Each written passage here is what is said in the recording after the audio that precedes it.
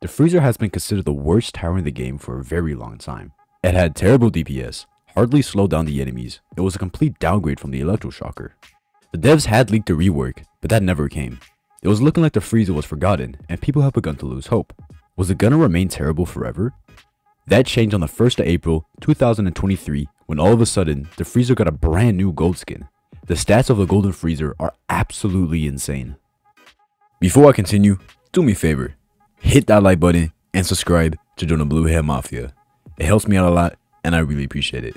It costs 1200 cash place, which is a lot more expensive than the previous cost of 300 cash. Its stats make up for it though. At level 0, it deals 50 damage per hit, fires once every 2 seconds, has a range of 15, and enemies remain frozen for 1 second. This is a huge improvement from the base Freezer, who used to deal 0 damage, fire once every 3 seconds, and freeze enemies for 0.75 seconds. The level 1 upgrade costs 500 cash. Its damage is improved to 65 and it now fires every 1.5 seconds.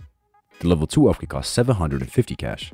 The freeze time is increased to 2 seconds and its range is increased to 18. It also gains hidden detection.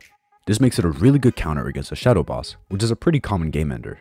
The increased freeze time also allows it to permanently freeze enemies, making it a perfect counter against a tank or other fast enemies.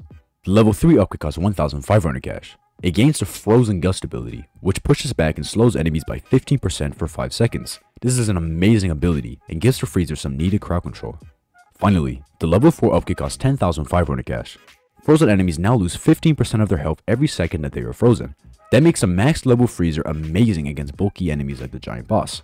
But the insane part is that this effect works on any enemy including the nuclear monster. The nuclear monster has an insane 1.5 million health, so the gradual freeze damage gives the freezer a DPS of 225,000.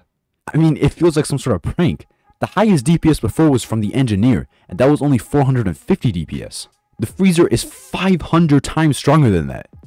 On top of that, the devs have stated that they're planning on removing the freezer's placement cost, as they believe that the current cost is much too expensive for it to be used in the early game. I wouldn't be surprised to see this tower be used in a lot of future strategies, as its insane potential DPS is really unmatched by any other tower. I don't even think ranking it as an S tier tower would be enough, so I'm going to give it a special gold freezer rank.